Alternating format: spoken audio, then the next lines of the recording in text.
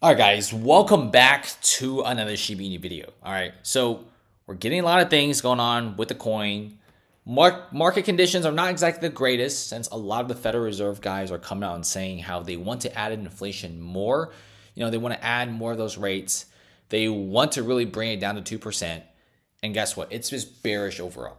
Okay, everyone was kind of expecting, oh, maybe rate cuts by the end of the year, or maybe by the end of summer of 2024. But apparently, even some of the Federal Reserve guys saying inflation isn't going down as fast as they hope for, and they want to raise rates and hold it there for a few years, which is pretty bad for the market. If you guys know about this interest rate stuff, it's already at a very high amount, you know, one of the highest in decades in U.S. history. So about Shiba Inu here. So you do see it taking a slight beating in the price. Shiba Inu is getting hurt by the bad market. General markets are not going to be that nice to the Shiba Inu dog coin. In fact, prices have kind of went down a decent amount. But because of the bad market, Shiba Inu prices are still somewhat stabilizing, and that's pretty impressive in my opinion. That means despite bad market conditions, despite a lot of those guys selling, the dog coin here doesn't want to go down, but instead prices continue to shoot up. Here's what I'd say do not sleep on the Shiba Inu token. This is one of the few tokens out there that's very, very promising. It's coming out with a lot of big projects, cool gadgets, you know, and also they're hiring a lot of cool partnerships and new devs to get things snowballing.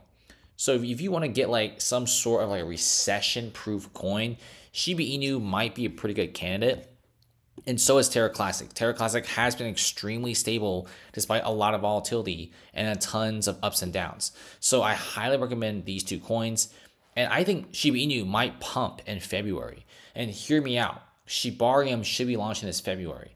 And in the past several months of trading, we have seen several tokens that defy the odds. When tokens get a lot of retail interest, they tend to go up in the bear market because a lot of people do like to transition the money into tokens that tend to go up in bear markets, like Terra Classic back in August of 2022, and maybe even Shiba Inu of February of 2023. So I think with Shibarium launching, new projects coming in, and also the amount of Ethereum whales buying in, it's crazy, okay? The mood has truly changed for the Shiba Inu token, and prices will most likely continue to go up. Do not sleep on the Shiba Inu token. And before we leave, check out the private Discord server, Patreon link below for some amazing trades. And it's only $10 a month. See you later.